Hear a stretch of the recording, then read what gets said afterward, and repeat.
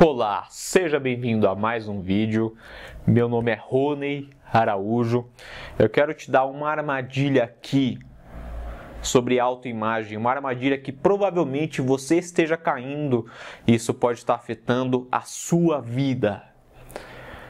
Primeiramente, se você não sabe, eu quero te contextualizar o que é autoimagem. Autoimagem é como nós nos enxergamos na vida. É um pouco diferente da autoestima, eu enxergo dessa forma.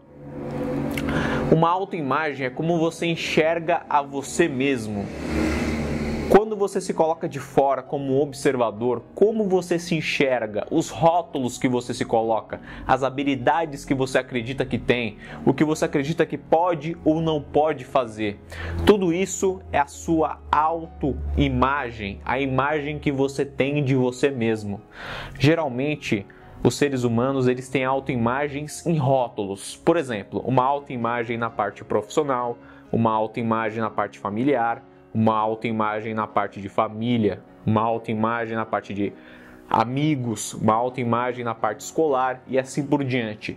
Geralmente nós temos vários rótulos como nós nos enxergamos. Às vezes nós somos muito bons em algo ou não tão bons em outra coisa.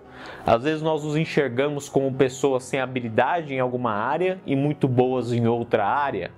A questão é que como você se enxerga, o seu cérebro te ajuda a ser congruente com aquela autoimagem. Se no seu trabalho você se enxerga como uma pessoa inteligente que resolve problemas, o seu cérebro vai te ajudar a resolver problemas, vai te ajudar a ser congruente com essa autoimagem. Agora, aqui vem a armadilha.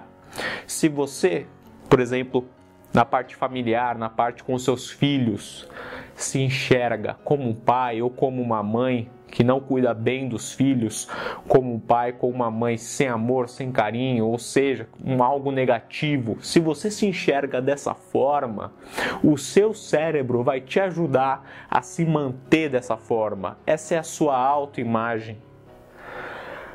Isso é muito louco como isso acontece. Isso é um senso de identidade. Quando você chega no senso de identidade de um ser humano, nosso inconsciente entende quando nós nos rotulamos que ele deve agir daquela forma, por mais que aquela forma seja negativa. O meu convite para você é que você coloque rótulos positivos conscientemente em cada área da sua vida e elimine todos os rótulos negativos.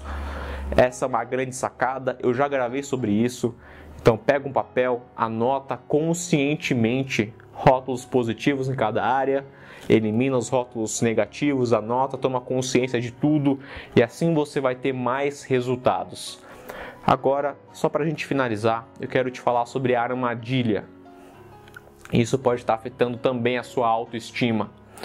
Se você tem um rótulo negativo em alguma área, por exemplo, no trabalho, bom, eu sei que no trabalho eu sou péssimo em lidar com pessoas. Hum, o que vai acontecer? Você tende a realmente ser ruim a lidar com pessoas porque o seu próprio cérebro vai te ajudar a ser dessa forma. O seu próprio cérebro vai minar possibilidades de você crescer e melhorar com outras pessoas, em ter essa habilidade. O que acontece é que muitas vezes você acaba se julgando negativamente. E se você se julga negativamente, a sua autoestima abaixa. Eu já vi pessoas que com esse efeito composto, uma autoimagem negativa, um auto-julgamento negativo, autoestima negativa, entraram em depressão. Então eu tive que gravar essa sacada para te jogar aqui para você tomar consciência dos rótulos da sua autoimagem, da forma como você se enxerga e como você se julga. Você não é os seus rótulos. Os rótulos são seus, mas a sua essência não é os seus rótulos. Muito cuidado com os rótulos que você se coloca e muito cuidado também com o que você se propõe a fazer como está condicionado a sua autoimagem, consequentemente vai ter impacto na sua própria autoestima, como você gosta de você mesmo. Eu espero que você tenha gostado. É um vídeo rápido, um vídeo curto. Eu espero que você compartilhe esse material com pessoas que vão ser beneficiadas, vamos propagar o bem. Né? O meu trabalho é basicamente esse e eu espero que o máximo de pessoas possíveis sejam beneficiadas com esse conteúdo.